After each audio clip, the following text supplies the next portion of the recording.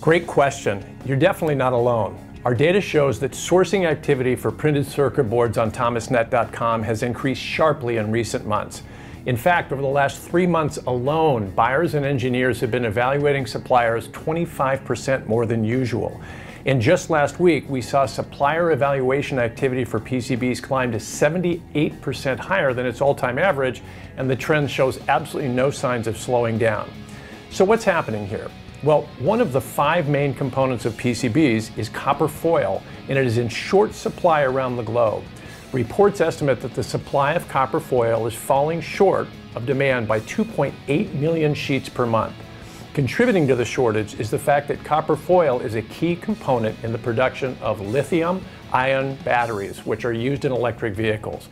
With electric vehicle production ramping up thanks to investments by Tesla, Volvo's decision to go all electric by 2019 and large incentives from the Chinese government, demand is exploding.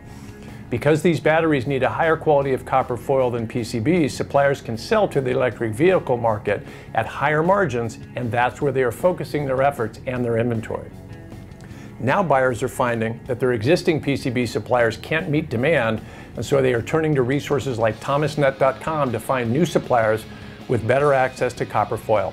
It's a classic example of scarcity driving the market. How are these suppliers trying to keep pace? To find out, we spoke with Steve Gillespie of VR Industries, a full service electronic contract manufacturer based in Rhode Island. He said that industry lead times for PCBs have gone from four weeks to eight to 10 weeks, but buyers are pushing for much faster lead times.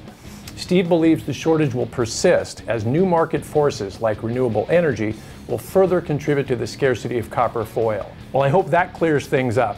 To stay up to date on the latest sourcing and industrial trends from the Thomas Index, subscribe to our Shop Talk newsletter, and thanks for watching.